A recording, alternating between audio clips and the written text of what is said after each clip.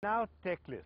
Just in case you're one of those people who doesn't want an Apple iPod or iPhone or any Apple device, there are still some other MP3 players out there and some of them actually are very cost effective. Let's take a look after top 5. Now we must admit that iPod is the first name that comes to mind when you think about portable media players, but that doesn't mean there isn't competition out there. Here's our look at the top 5 alternatives to iPod.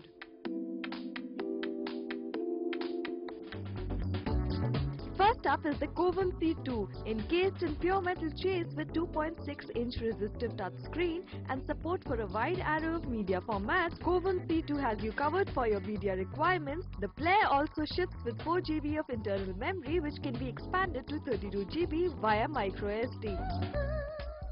One of the oldest name in sound, Creative are known for their chops when it comes to sound quality and the XFI2 is no different. With a 3-inch touchscreen and audio processor that upscales sound quality, support for Wi-Fi and more, there's bound to be something you like about this offering. This offering from Philips supports a wide range of audio and video files along with a 3-point-inch touchscreen with 720p HD playback and even an HDMI out. Philips makes a strong case with the Go Gear Muse.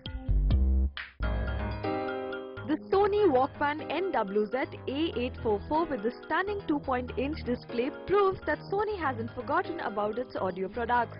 With an internal storage capacity of 8GB and technologies like digital noise cancelling and amplifier S Master, Sony proves they still have it when it comes to their flagship audio brand.